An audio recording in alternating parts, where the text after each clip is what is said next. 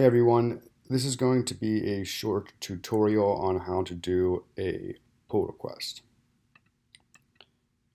So I'm on the Algorand Foundation GitHub and I'm going to go to the repositories. And I will click on Grow Algorand. And once I'm here uh, I'm going to click on a specific file. So we'll click on the README. Once you click on a specific file, um, you're just going to go up into the right and you're going to click fork this project and edit the file.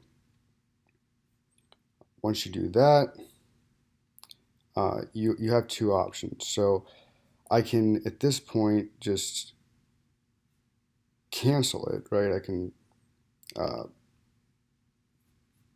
end my fork and I can go to my profile. And once I'm in my profile, I can see that I forked on my repository, Grow Algorand. So once I'm on my Algorand, or excuse me, Grow Algorand, I can now make an edit to the file. So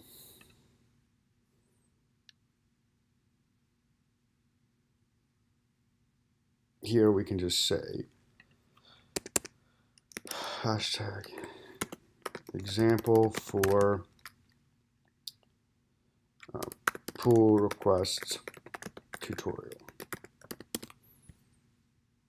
And then I will commit my changes and that happens on my branch. So then we go back to my repository and then I go to contribute and then I click open pull request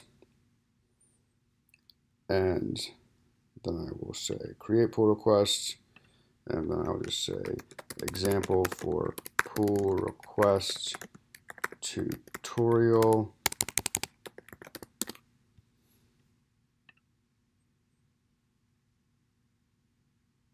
And now I have created a pull request. So if you go to the Algorand Foundation grow Algorand pull request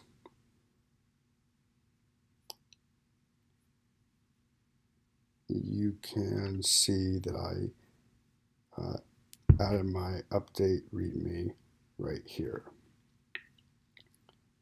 Thanks for watching and have a great day.